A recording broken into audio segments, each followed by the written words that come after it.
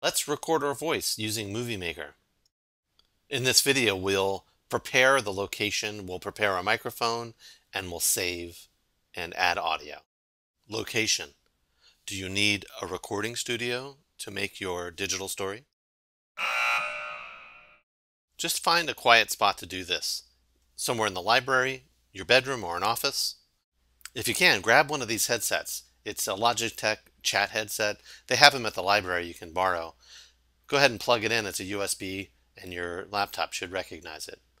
Again, just a quiet spot where you can record. I've already got this all set up. Now let's get into Movie Maker. Up here at the top, there's a menu that we want to click on and then options is what we want.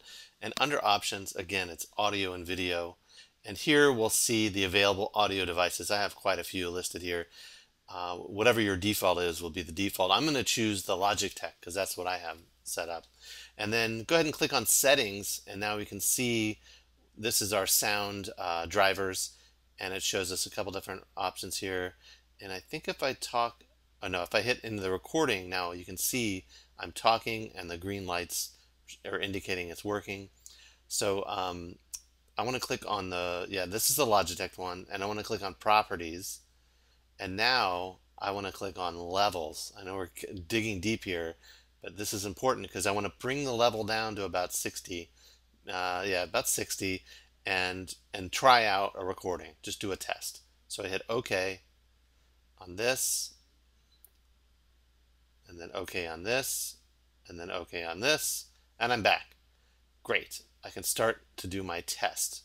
So here I click on the home on the menu bar and I put my scrub bar right in the beginning, at the beginning of my story. And now look up here on the toolbar.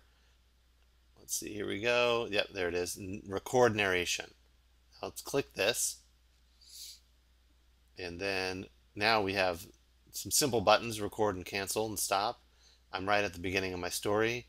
So now let's record. So I hit the record button and there we go. Recording now. So now I'm just going to start reading my story like I normally would.